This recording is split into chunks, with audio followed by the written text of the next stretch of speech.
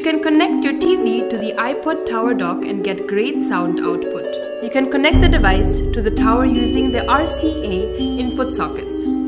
Use the cable provided. Insert the mini earphone jack into the headphone socket of the TV. Connect the RCA jack pair at the other end to the RCA sockets of the tower. You will now have to change the audio source to audio. Press the audio button on the remote.